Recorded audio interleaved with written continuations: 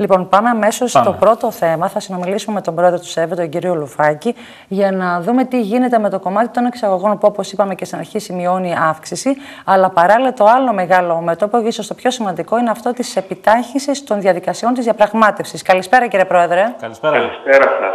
Καλησπέρα σας. Να είστε καλά. Ευχαριστούμε πολύ. Είπαμε λοιπόν το πρώτο κομμάτι έχει να κάνει με την αύξηση των εξαγωγών. Είναι θετικά τα μηνύματα και στον αντίποδα αυτών είναι το κρίσιμο σταυροδρόμιο που βρισκόμαστε που έχει να κάνει με τις διαπραγματεύσεις. Και τι θα γίνουν τις επόμενες ημέρες, για να μην πούμε τις επόμενες ώρες.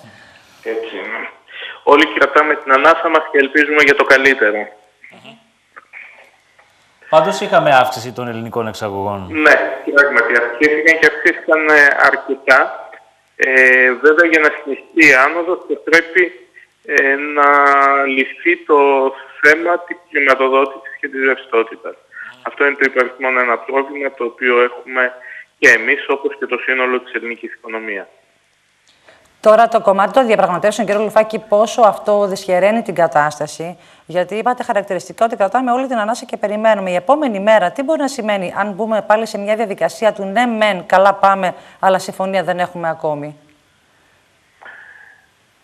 Κοιτάξτε, είναι απαραίτητο να υπάρξει μια συμφωνία. Αν δεν υπάρξει συμφωνία, δεν θα απελευθερωθούν πόροι για την ελληνική ε, οικονομία. Συνεπώς, ε, και οι εξαγωγές τις οποίες αυτή τη στιγμή κάνουμε θα ε, επιβαρυνθούν και θα αρχίσουν να έχουν προβλήματα. Γιατί ε, αν δεν χρηματοδοτηθούν, αντιλαμβάνεστε ότι δεν μπορούμε να, να, να προχωρήσουμε. Δι χρημάτων που έλεγαν και οι αρχαίοι Έλληνες και αν τον δεν το δεοντογίνεστε. Κύριε Λουφάκη, βεβαίως βρισκόμαστε σε μια πολύ κρίσιμη στιγμή, διότι η κυβέρνηση λέει ότι αν δεν υπάρχει δήλωση θετική από το Eurogroup, τότε δεν πληρώνουμε αύριο το δούνο του. Αυτό τι, πώς μπορεί να μεταφραστεί για τον, για, το, για τον επιχειρηματικό κόσμο και για τις εξαγωγές συγκεκριμένα;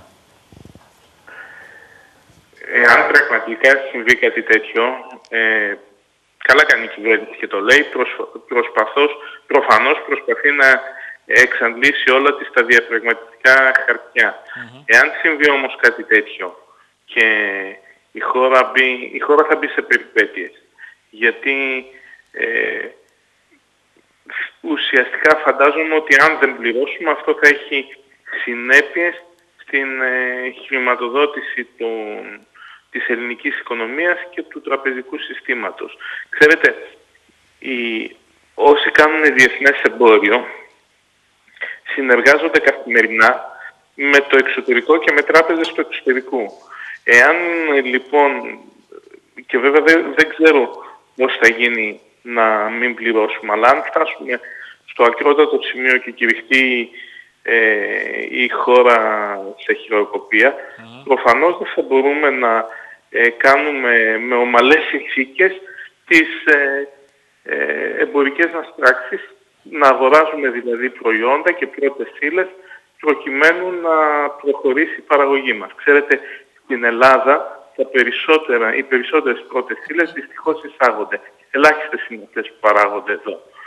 Τώρα βέβαια φαντάζομαι ότι η κυβέρνηση όταν λέει κάτι τέτοιο ε, θα έχει στο νου της κάποιες διαδικασίες με τις οποίες πιθανόν αυτά τα οποία ακούω και διαβάζω και εγώ mm-hmm. στις εφημερίδες από εσάς, πιθανόν, πιθανόν να μην γυριστούμε σε κάποιο τυφώτα. Αλλά αυτό είναι ένας πολύ επικίνδυνος δρόμος. Mm-hmm. Παίζουμε με τη φωτιά. Είναι κατανοητό. Μάλιστα, κύριε Πρόεδρε, σας ευχαριστούμε θερμά και σα ελπίσουμε να υπάρξει τελικά η πολυπόθητη συμφωνία. Να είστε καλά. Καλό απόγευμα.